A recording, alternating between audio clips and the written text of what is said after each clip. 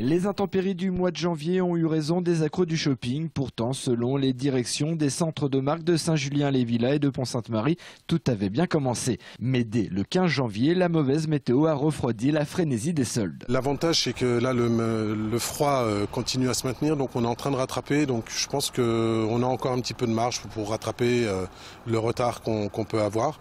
Euh, donc voilà, un bilan, bilan un peu mitigé compte tenu des conditions climatiques.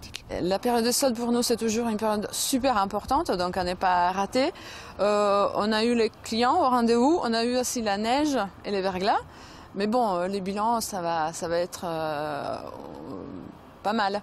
Le tiroir caisse de ce magasin d'outillage n'est donc pas plein. Par rapport aux chiffres réalisés au précédent solde d'hiver, le bilan est légèrement négatif. En fait, le bilan, il est plutôt bon au final. Après, on a eu, un mauvais, on a eu pas mal de mauvais temps, donc euh, effectivement, euh, ça, ça, a un peu ralenti les, les ventes et surtout l'arrivée des clients. À quelques mètres, autre boutique. Ici, c'est le royaume de la décoration de maison et le constat est le même. Ces soldes sont tout à fait normales, rien d'extraordinaire. Donc euh, les soldes ont été très bonnes euh, dans l'ensemble, avec euh, un début euh, très prometteur. Puis on a eu du mauvais temps avec, euh, avec la neige, avec le verglas qui a fait que euh, on a eu un petit peu moins de fréquentation. On s'est bien rattrapé par la suite et ça nous fait une belle progression au final.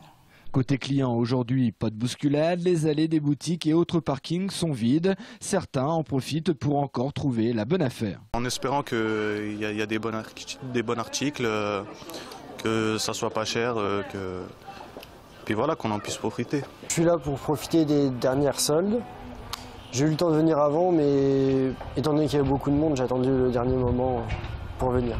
Il y a moins de monde, on fait pas de queue et on essaye de trouver la bonne affaire. On est venu parce que comme il n'y a pas grand monde et que c'est le dernier jour, on voulait voir un petit peu s'il restait des affaires intéressantes et on a trouvé deux trois produits qui nous intéressaient. Cette fin de solde laisse la place à d'autres attractions commerciales. Dans cette boutique, la table est déjà dressée pour la Saint-Valentin. Les clients seront peut-être au rendez-vous si les intempéries ne sont pas de la partie.